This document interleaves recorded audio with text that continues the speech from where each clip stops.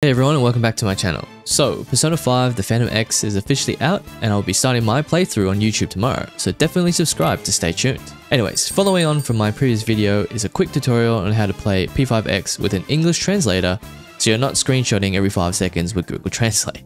It is a very easy process and will work with the Chinese, Taiwan and Korean versions of the game. Afterwards, I'll be talking about some FAQs from last video around mobile and different regions, and how to troubleshoot some issues that uh, everyone was having. Um, so yeah, definitely stay tuned, um, but we'll get straight into um, the English mod. First of all, um, I don't take any credit for this English mod. I'm not the one who developed it. All the credit goes to BitterBandit on Twitter. Um, and I'll also link um, the Twitter as well as the YouTube video down in the description below. and he has a Discord server which you will need to join in order to download the, the English translator like app patch. and basically all you do is just join the Discord uh, and I'm doing uh, this demonstration on the Taiwan servers, uh, but it will work for Korea and China, which I'll show you. Uh, if there is anything for mobile, um, I'll let you know down below. Um, currently, I don't believe there is anything for mobile. I think for mobile, there are a few people um, who are actually using either emulators, which are just based on PC, which means this this mod will work for those ones, or if they have downloaded them onto their phones, they're using an overlay um, a BepInEx sort of Linux based overlay, um, which I'm not too sure about. I'm, I'm not really sure about any of that sort of stuff. So definitely go and look for videos on Reddit or Twitter um, for that sort of stuff. Um, but if there is any simpler uh, mobile methods that you don't have to mess around with emulators and different you know codes and all that sort of stuff, um, I'll definitely do a video about that one. But so far I haven't seen anything, so unfortunately it's PC only at this stage. Plus, I actually haven't got mobile working in my region either, so I can't even download the app, so I can't even test anything. So, yeah, well, there's that. So firstly, you'll need to download the game from the Taiwan or Korean websites, which I have a video linked in the description below, which is the previous video that I, I taught you how to do it. Um, and once you've downloaded that, you'll need to install the P5X file. So once you've installed the P5X file, basically you want to go into the Discord server and join the P5X Worldwide Discord. And once you join the Discord, you want to go into mod development, um, which is basically what you would want to find your mod updates for CN, which is China, the China server, TW, which is the Taiwan server, and Korea, which is Korean server. So you just basically go on to whichever server you're playing on. So I'm playing on Taiwan. And it looks like there's actually updates since the last time I actually downloaded everything. Um, but basically, you just want to download this auto translator file. Um, so it looks like an updated one is here. Um, but I'm just going to show you this one because this is the one that I've got installed. So you want to download this from uh, Mediafire. So download that and then you'll save it into your downloads. So once you download it, you want to extract it. And once you extract it, what you want to do is you want to click into the auto translator file of whatever region you have, and you want to copy all this. So either control C or right click copy. And then once that's done, you want to go to where your P5X is saved. So in my case, it's on my local disk. As you can see, P5X. So we're going to click on P5X. You want to click on client and you want to click on PC. And then you want to paste everything in here. So I've already got everything pasted, which is why it's not happening. But you want to paste everything that you copied from that file into the PC P5X client PC folder. So if you don't have any of these folders, it either means that you actually haven't installed the game from the installer um, or something's gone wrong. So you either will have to restart your PC, um, uninstall or reinstall the game, or possibly even just maybe there's possibly like a a, a weird um, double double process going on. So maybe just execute the the file from Task Manager to see if you have any P5X lurking around in the processes. Um, but if not, it probably just uninstalling, reinstalling, or restarting your PC is the best bet. But you should have these folders. So once completed, actually, you'll be in here, and then you'll see the application with P5X. So this application is the default application that it you know, when you install the game, it's the one that's, you know, gets set up in your desktop. You don't want to launch from this application. You want to go back to the P5X application and launch from the P5X launcher app. So GAT is, I believe it's only Taiwan that has the GAT um, uh, prefix, uh, prefix for the launcher. Um, I believe uh, Korea is just P5X launcher, but you want to go into the P5X and launch the application from the launcher file, not from the PC file. I'm not too sure why that is, but it won't work if you launch it from um, the PC file. So always launch it from the P5X one. So now I'm just going to go launch the game. So when you actually launch the game, um, any all, all of this sort of stuff in here will not get translated. Um, I believe it's a separate sort of um, initial file than the actual game files. Um, so unfortunately, this stuff won't be translated.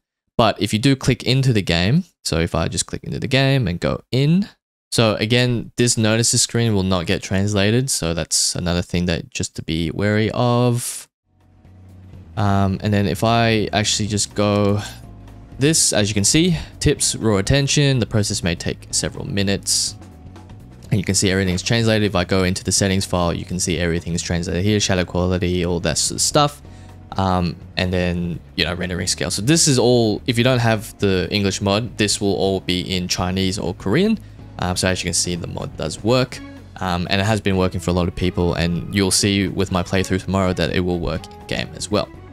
So a couple of things I want to go over uh, first um, are it's it's a translation and not a dub, um, which basically means the mod takes the information for whichever language you're using, sends it to a server, and the server sends back the translation uh, into English. Um, this means that it will take a bit of time for translations to actually come through and work, and also which means you'll get these weird like you can see these weird like off-center ones that aren't actually supposed to well, they are supposed to be there, but they're not supposed to be in these locations, obviously. So you will get a little bit of a skew here and there. Um, however, when you do um, have a translation, uh, for example, um, like common translations, such as like, you know, when you go into the menu, shadow quality is always going to be shadow quality. It's not like a progressive text or anything, or skills that always will have the same, you know, um, uh, description, uh, passives, um, yes or no prompts, stuff like that. And the mod does cache it. Um, which basically means that the, the English translation loads much faster. So when I first went into this config, it took a while to translate shadow quality, for example. Um, but now it, I can just go out and I can go straight back in and it's, it's already cached. So it's already been translated, so it won't translate it again. Um, another thing is that because it is a translation, uh, not everything will be 100% correct. Um, and some things may sound awkward or not uh, seem quite right. Um, so don't worry, your game isn't being hacked or whatever. it is just what it is. Um, and that's just the nature of, of mods, I guess. Um, but in saying that, I know um, the person who's developing the mod um, is basically improving it. And as you can saw in that Discord uh, server before basically hasn't improved it essentially. So you can basically just keep recopying those files basically into into where, wherever you need to in order to get, um, I guess, better mods. So lastly, the mod doesn't translate everything. Um, so certain UI elements, so for example, this sort of stuff here, um, and then UI elements in the game, as well as that like information um, about like all the notices and stuff. So th these aren't translated. Uh, I believe they're actually a separate executable file, or some of them are actually image files, which means that the mod won't work for those particular um, parameters, unfortunately. Um, but you know, as long as the main thing, the, the the dialogue and the story definitely do work. So I have seen it work for those ones. Um, and actually through my testing for my playthrough, it does work as well. So all that sort of stuff does work. Some of UI elements do not, but you know, it is what it is. So I would highly recommend if anything doesn't work for you, definitely leave a comment down below.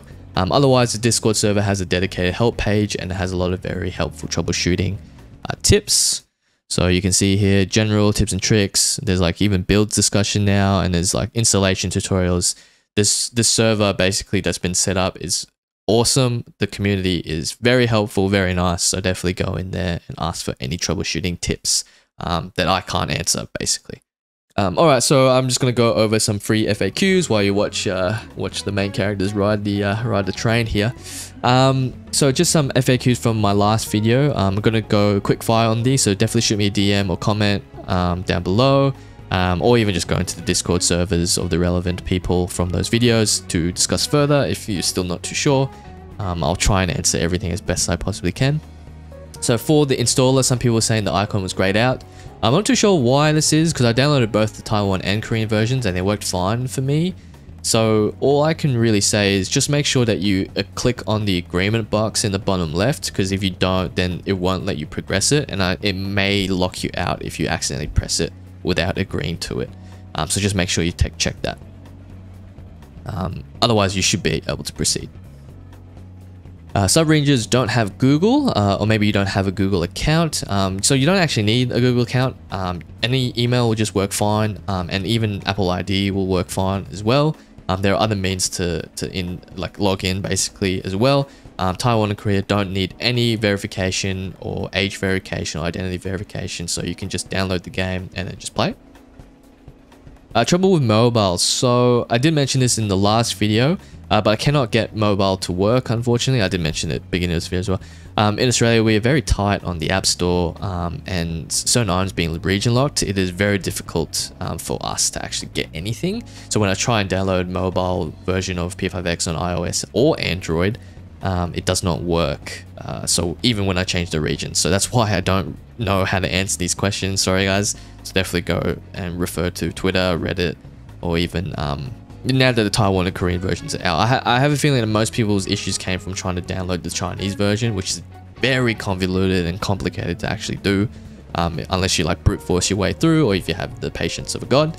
Um, and basically, yeah, you just you just really need to um, yeah, take a step back for that version. But now that the Taiwan and Korean version is out, you can probably download it just fine. Just change the region to Taiwan and or Korea, and then you should be able to download it and then just follow the steps and then log in with the email account and then you're good to go. Alright, so very easy English translation mod to install and you're basically ready to go and you won't have to learn uh, Chinese or Korean, which is the best part. So I'm definitely excited to play. In fact, uh, I'll be playing straight after this video. Uh, but for more Persona 5 The Phantom X, please definitely leave a like and subscribe. Um, and definitely comment down below if you have any other issues. I will try and answer them to the best of my abilities. Playthrough of P5X is coming out tomorrow and I'll be uploading pretty much daily from now on. A lot of P5X content, just gonna smash through it. Um, I'm really looking forward to this game and it's going to be absolutely amazing. So definitely, you know, you know, expect a ton more P5X on my channel. I appreciate all the support guys um, and thank you very much for watching and I hope you guys have a great day.